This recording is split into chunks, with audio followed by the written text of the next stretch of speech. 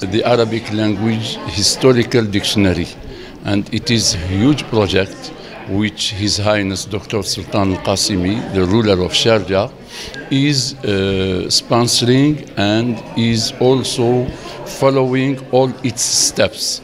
Now we are, we are more than 300 researchers, scholars in the Arab world, in Egypt, in Jordan, in Algeria, in uh, Sharjah, working in this project. So we are following the, the, the Arab world from the beginning until now. Uh, when we, we said from the beginning before Islam and we follow the world, the historical uh, cases in all uh, with the context. This is the difference between historical dictionary and normal general dictionary.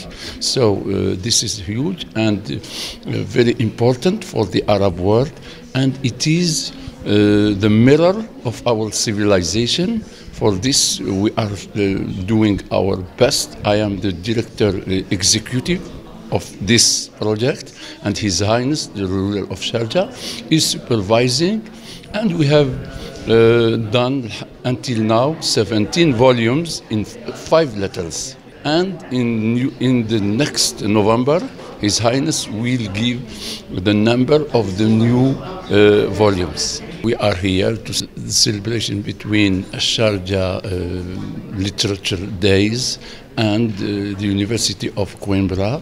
We are uh, making relation in the field of the literature, of the field of Arabic language, Portuguese language, and uh, we hope that uh, some scholars in this university will participate with us in this historical dictionary in the future. نتحدث عن الواقع مشروع ضخم جدا كويمبرا في البرتغال هذه العلاقة التي